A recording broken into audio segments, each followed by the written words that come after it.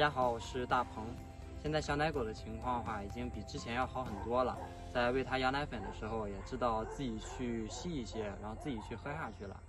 不过它的年龄还是比较小，也是刚出生，呃，还是需要勤加注意吧。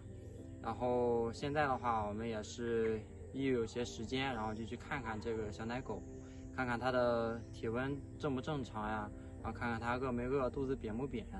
也是希望他能够健健康康、平平安安的长大吧。